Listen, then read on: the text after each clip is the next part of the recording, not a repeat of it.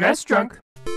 When I get burnt out on other stuff, I like to turn to the good old Game Boy. So hey, what the hell? Let's take a look at every WWF game on the Game Boy and Game Boy Color, starting with WWF Superstars developed by Rare. I'll always be really fond of this one because it was one of the six or seven Game Boy games that my older brother owned that he would not share with me under any circumstances. All younger siblings out there can relate to that. So yeah, I'm a bit biased toward this one. On the surface, you might not expect a lot from the gameplay here, but there's actually a bit more than meets the eye. Yeah, it sucks there's only five characters here, but it's the absolute cream of the crop. I'm talking Hulk Hogan, Ultimate Warrior, Macho Man, Million Dollar Man, and Mr. Perfect. And the gameplay is actually well done considering the limitations here. It's A to punch and kick, and B to do a body slam, and while your opponent is down, press A to either stomp or drop an elbow depending on who you picked. If you catch your opponent getting up from the mat at just the right time, you can grab them in a headlock by pressing B and a direction on the D-pad, and either do a snapmare, a pile driver, or a suplex, or just plain beat the crap out of them with a barrage of punches. And hey, if you're the one getting up and your opponent tries something like this on you, just hit the B button and you'll do kind of a double leg takedown. You can also double tap left or right to run, press A to do a drop kick, or B to deliver a clothesline, or drop a devastating running elbow if your opponent is down. In addition to all that, you can also press select at just the right time and toss your opponent out of the ring entirely. You can even climb up to the top rope and do a huge flying elbow. It's crazy. Back when I played this as a kid, I had no idea you could even do that.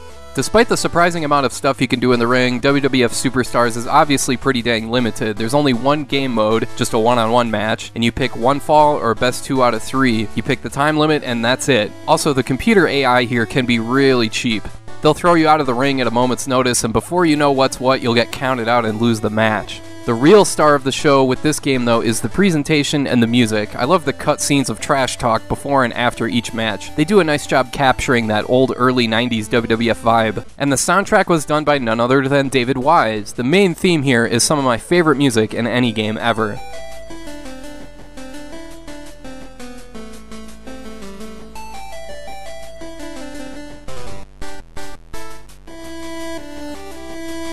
Also, each wrestler's theme is here as well, although the Million Dollar Man's appears to be made up from scratch, but even then, it's a great sounding tune.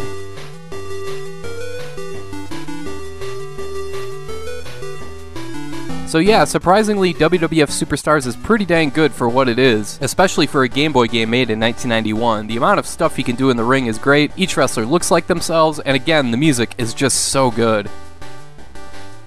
While my brother had that game, I had to settle for WWF Superstars 2. This one was developed by Sculptured Software instead of Rare, but it's still pretty dang good for a wee little Game Boy title. The roster now has six wrestlers Hulk Hogan, Macho Man, Jake the Snake, Sid Justice, The Undertaker, and the Mountie? Look, I like Jacques Rougeau, but as a kid, the Mountie was just really annoying. I would have rather been playing as Bret Hart or the British Bulldog. In this game, there's a tag team mode and a tournament mode in addition to one on one, and you can also fight in a steel cage, which is really what sold this game for me as a kid. The cage removes the ropes entirely, so instead of throwing your opponent into the ropes, he just bounces off the cage. It's pretty funny. But yeah, as you can see, the sprite animation here is surprisingly impressive. The presentation is pretty cool too, since you see each wrestler get introduced before each match. Plus, I love how when you win a cage match, you just climb the cage and do a pose on top. The gameplay is quite a bit different than the first game. A punches, B kicks, and left or right on the D-pad near your opponent will have them grapple. From there, A is a headbutt, B is some kind of weird power bomb? The hell is that?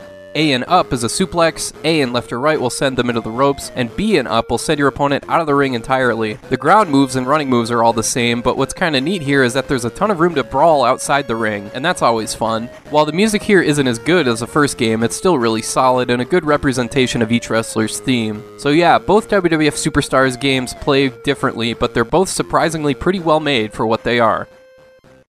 Next, there's WWF King of the Ring, and this one is actually pretty similar to its NES counterpart, despite having come out before that one did. And both were made by the same developer, Eastridge Technology. Here you've got Bret Hart, Shawn Michaels, Lex Luger, Mr. Perfect, Razor Ramon, Macho Man, Hulk Hogan, Yokozuna, and you. Yup, there's a creator wrestler mode where you can put your own name and adjust your speed, strength, and stamina. The gameplay is a lot more basic than the previous two games. It's punch, kick, and grapple, hold a direction pad, and A and B to do a suplex or a hip toss or a body slam, similar to Superstars 2, but man, oh man, the sound design here is so bad. There's no music during gameplay, and, uh, ugh. Each character's entrance theme is here, and they sound okay, but the sound effects here are just like jabbing ice picks into your ears. Also, the sprites here are uh, just a little goofy looking, and the animation and frame rate are pretty bad. For game modes, there's Tag Team and a King of the Ring tournament, but that's it. No cage or brawl mode or anything. So, yeah, other than the Create a Wrestler mode, King of the Ring is a decided step back from the previous two games. WWF Raw was made by Real Time Associates, and once again, we've got eight wrestlers here Lex Luger, Bret Hart, Shawn Michaels, Razor Ramon, Diesel, Doink, Undertaker, and Yokozuna, and their entrance themes are again captured pretty well. I swear, when you're a kid playing these games, sometimes it was something as simple as that that makes or breaks a game. The gameplay is very similar to the previous games in this video, only they introduced a grappling meter so you can see how hard you have to mash buttons, I guess. The big problem with this one is how friggin' tiny the sprites are. They still kind of look like who they're supposed to, but smaller sprites like this don't lend themselves very well to a wrestling game. I think that's why this game's biggest problem is the hit detection. It is incredibly frustrating here. Come on, come on already, jeez. This game does have Brawl, Tag Team, and 4-on-4 Survivor Series modes, as well as tournaments you can play through, so that's cool, but the actual gameplay here is a chore, and it makes this game a stay away. WWF Warzone is more commonly known as a crappy wrestling game on N64 and PlayStation, but it's also a crappy game on Game Boy. Yep, that's right, this game got a Game Boy port in 1998 developed by Probe Entertainment. I will say, it's pretty surreal seeing guys from the Attitude Era in an original Game Boy game like Stone Cold Steve Austin, Kane, Ken Shamrock, Gold Dust, Faarooq, Triple H, Mankind, Rocky Maivia, as opposed to The Rock, Ahmed Johnson, along with British Bulldog, Owen Hart, Shawn Michaels, and The Undertaker. Man, to this game's credit, this roster is huge. It's just that, well, yeah, this game sucks out loud. The visuals here don't even try. I mean, come on. That's Owen Hart, that's Ron Simmons. To the game's credit, there are tournaments, cage matches, and a tag team mode, and there are finishers here for each wrestler. But other than that, this game really has nothing going for it, as you can see. The controls are stiff, the hit detection sucks, and I cannot get over how bad the visuals are. So yeah, definitely avoid this one.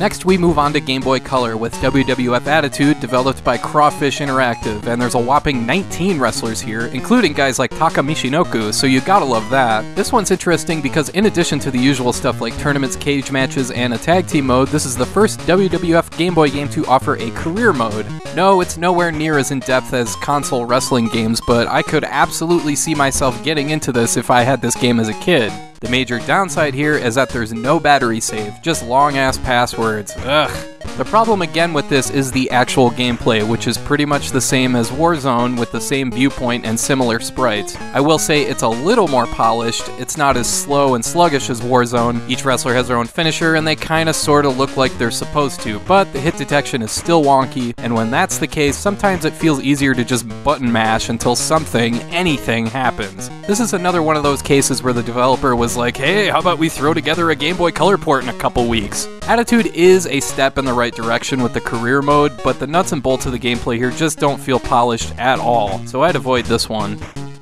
WWF WrestleMania 2000 also received a Game Boy Color port, and this one was developed by Natsume. It's mostly the same roster as Attitude, and there's Tag Team, Survivor Series, and Gauntlet modes available, and there's a career mode here as well, complete with a presentation that includes promos and one-liners, with Vince McMahon, of course, being the final boss, so to speak. Sadly, however, there's still a password system, so that sucks.